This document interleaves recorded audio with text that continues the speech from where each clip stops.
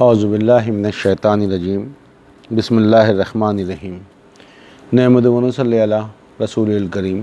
اما بعد، میرے بھائیوں کنٹینیوٹی میں آج ہم چند آیتیں دیکھیں گے کہ اللہ تعالیٰ کہہ رہے ہیں کہ ہم میں سے ایک گروہ ہونا چاہیے چند لوگوں کا، جو اللہ کی باتیں لوگوں تک یا اچھی باتیں لوگوں کو بتائے اور برائی سے روکیں۔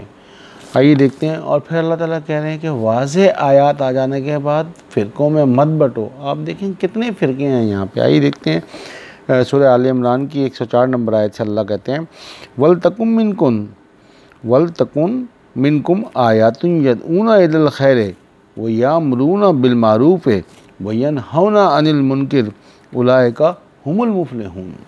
اور چاہیے کہ تم میں سے ایک گروہ نیکی کی طرف دعوت دے اور نیکی کا حکم دے اور برائی سے منع کرے اولائے کا ہم المفلحون، وہی لوگ تو فلاح پانے والے ہیں۔ تو اگر ہم نے اور آپ نے فلاح پانا ہے، تو ہم نے یہ کام کرنا ہے۔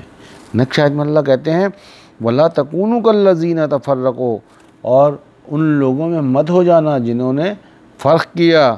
وقت تلف و ممباد ما جاؤ البینات جو متفرق ہوئے اور انہوں نے اپنے پاس واضح آیات آ جانے کے بعد بھی اختلاف کیا۔ لوگ واضح آیات دیکھنے کے بعد بھی اختلاف کرتے ہیں کہ نہیں جی ہم نے تو یہاں سنا ایسے ہے۔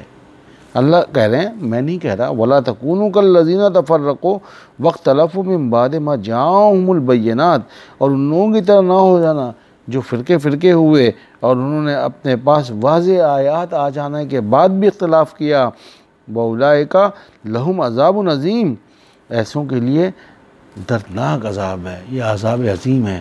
تو بہنوں بھائیوں، اگر ہم اللہ کی واضح آیات کے بعد بھی اختلاف کریں گے، اپنی منطق لگائیں گے، تو ہمارے اوپر کیا آئے گا؟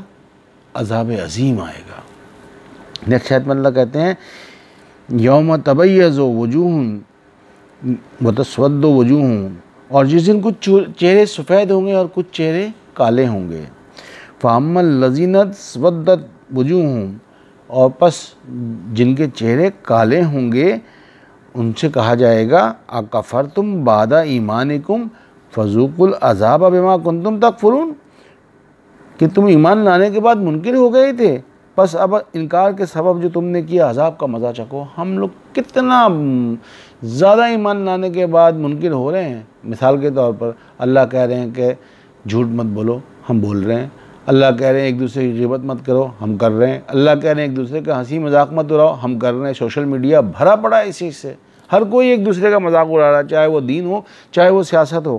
اللہ کہہ رہے فام لذینس ودت وجوہ اکفر تم بادہ ایمان کم فضوق العذاب بما تم تک فرون اور جن کے چہرے کالے ہوں گے، ان سے کہا جائے گا کیا تم ایمان لانے کے بعد منکر ہو گئے تھے؟ پس اب اس انکار کے سبب جو تم نے کیا، عذاب کا مزہ چکو تصور تو کریں ہم۔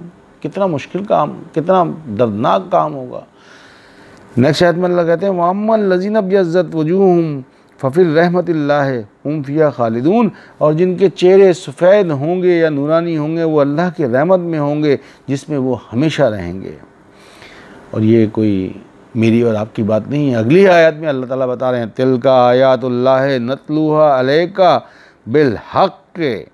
اور یہ اللہ کی آیات ہیں جنہیں ہم تم پر حق کے ساتھ تلاوت کر رہے ہیں۔ وم اللہ یرید و ظلم للعالمین اور اللہ تو جہانوں پر ظلم کرنا نہیں چاہتا۔ نقشات میں اللہ کہتے ہیں ولی اللہ معافی سماوات و معاف الارض ویل اللہ ترج العمور اور جو کچھ بھی آسمانوں اور زمین میں ہے، اللہ ہی کا ہے۔ اور تمام امور اللہ ہی کی جانب لوٹائے جائیں گے۔ تو اللہ تعالیٰ ہمیں توفیق دے کہ ہم اللہ کی آیات لوگوں تک پہنچائیں، لوگوں تک پہنچائیں اور لوگوں کو نیکی کا حکم دیں اور برائی سے روکیں۔ تو اسی طریقے سے ہم اللہ کی باتوں پہ چلنے کو سمجھنے سٹارٹ کریں گے اور جب ہم سٹارٹ کریں گے تو ہم خسارے میں سے نکل جائیں گے۔ اللہ ہمیں عمل کی توفیق عطا فرمائے۔ وہ آخر و دعوانا ان الحمد للہ رب العالمین۔